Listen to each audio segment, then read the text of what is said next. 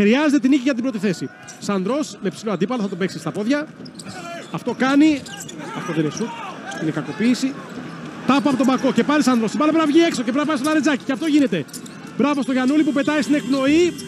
Η μπάλα φτάνει στον Τέιτ. Λί να το μαρκάρει κάποιος. Μπράβο στον Θείοντορ. Καταπληκτικά από το Λαρετζάκι. Η μπάλα πετάγεται. Τέλος αγώνα. Και με αυτόν τον μυθιστορηματικό τρόπο, με αυτό το θρίλερ, σε αυτή την Grand Guignol αναμέτρηση η ΑΕΚ κερδίζει με 77-76 και παίρνει την πρώτη θέση. Θα το ξαναδούμε οπωσδήποτε. Κοιτάξτε ο Λί. Τι κάνει. Εδώ χάνει την μπάλα. Λαρετζάκης, Λί. Ξανά Λαρετζάκης πέφτοντας πάλι όπως ο Τζιτζι Μπουφόν. Ξανά ο Λαρετζάκης Λί. ίσως και βήματα εκεί.